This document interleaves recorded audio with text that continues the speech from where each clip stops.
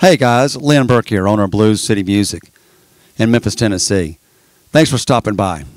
Uh, we're continuing with our Guitar Amplification 101 class today, and we're talking about the Soldano Custom Amplification Astroverb. This amp comes in two options, a head or a 112 combo. With some minor differences, they're basically the same amp. So we're going to take a look at the combo first. This amp is 20 watts. It's powered by two EL84, so it's going to give you that British type sound that you're looking for. It's got five 12AX7s and a 65 watt Eminence Legend V12 ceramic speaker. Uh, this amp is perfect for guys that want to play at home. Uh, you can you can get as loud as you want at home. I've gigged with it.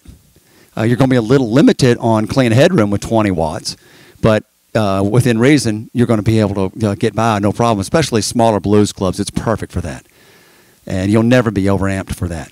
So this particular um, amp is great for about anything you would uh, want to do, and it's really simple to operate. And we're going to show you some of the differences on this amp with some close-up shots of the front of the chassis as well as the rear. Okay, so stand by. Let's take a look at the front chassis of the Soldano Astroverb in a 112 configuration. Guys, here's the front chassis of the Soldano custom amplification Astroverb. First thing you're going to notice, it comes with chicken head knobs. It's the same cabinetry that's used on the Soldano 44, but chicken head knobs won't fit on the 44 because there's an added second master. So that's why the Astroverb works really, really well with chicken head knobs. Standard quarter inch guitar input right here. Preamp or your pre-gain setting with a master volume. Standard Marshall style bass, mid, treble, tone stack, followed by a presence control and a reverb. Now, this reverb is really dynamic. Uh, it's a really big spring reverb. So if you're a surf guy, uh, this is definitely going to be the amp for you for sure. Okay. Now let's talk about how to run this amp. You're going, well, wait a minute. There's no effects loop. There's no second channel. How can I get grit out of this amp? Well, the way to run this, anybody that's been playing guitar long enough is going to know that you can take a single channel amp and do anything with it based upon pick attack, how you fret, um, pickup selection, how, where you're picking along the strings, as well as tone and volume control on the guitar itself. So where you should set up your your controls for your guitar is going to be when you want your rhythm tones, you need to roll back on the guitar somewhere around six, seven to eight, somewhere in there. When you want to start getting some crunchy tones out of it, you run it wide open. In this case here, because there's no additional master volume, you can just you can just go back and forth between the two. So the way Mike has this thing set up is he says, guys, go through here. If you really want the max headroom that this amp's going to have, run the master volume wide open to 11. Run it wide open to 11. Then you come over here and you set your preamp setting. The lower the setting, the cleaner the amp is going to sound. So if you really want to get some serious drop D, Van Halen, uh, Buckcherry, uh, Zakk Wylde, uh, what have you, uh, aggressive grit, then you can run this pre-gain, this preamp setting up around 7, 8, what have you. Now, if that's going to be too loud for the venue you're playing, then once you get your gain setting the way you want, then come back over here and bring your volume back down. But remember, it is a single channel amp. You'll need to go back, you'll need to get used to rolling your guitar volume up and down to help uh, with the clarity and the, and the cleanliness of the amp. You want to clean it up, roll it back on the guitar volume. And if you want it really crunchy and gritty, run it wide open.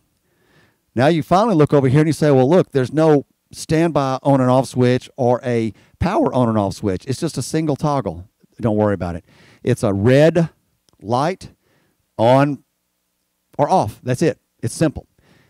And then down here, of course, you can see that these are front loaded cabinets. All of Mike's cabinets are front loaded.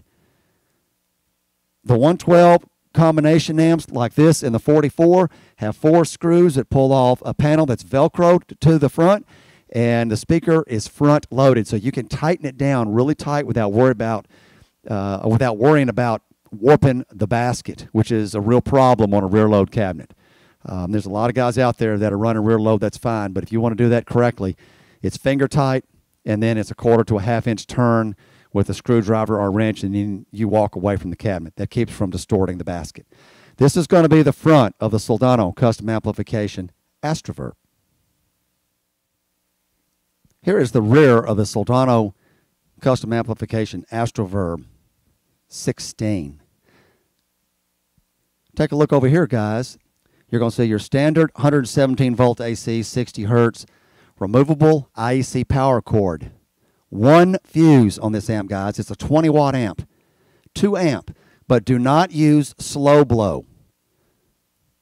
Mike wants to use 250 volt AGC fast acting fuses. You can get these at Radio Shack, Best Buy, FYE, anybody out there that sells this stuff all day long. Guitar Center, places like that.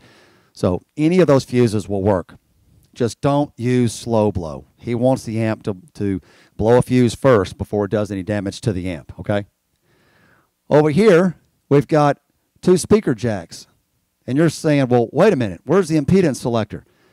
On the 112 combo, it does not have a impedance selector and it doesn't need it. Mike has this amp set up to where you can run any cabinet, any one or two cabinets all day long without any issue. Guys, it's a Soldano.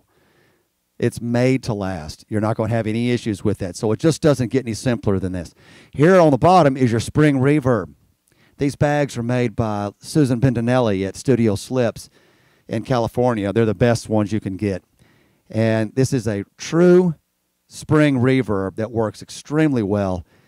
And you'll see back here it's a semi-open cabinet and this speaker is made in kentucky it's the eminence v12 legend that's a stock speaker that Mike has used for many, many, many years. He used to run uh, a speaker that uh, he developed with Eminence many years ago, but just decided, you know what, the stock Eminence is similar to a, v, a vintage 30, but it doesn't have the mid scoop or the high end spike that some guys complain about a vintage 30.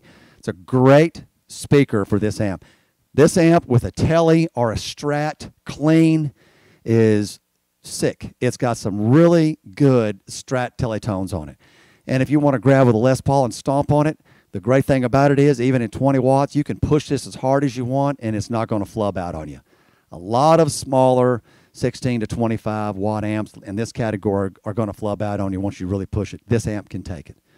So this is the, the rear of the Soldano Astroverb 16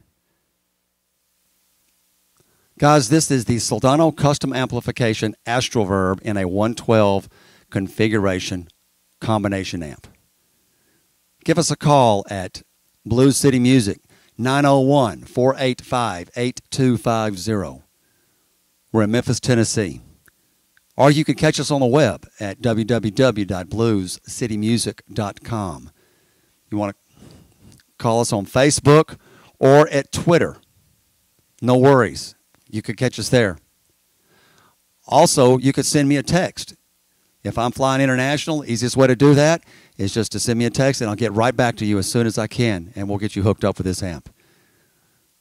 It's a really nice little EL84 amp, 20 watts, 12 inch speaker, It'll do anything you need at any time. Give us a call.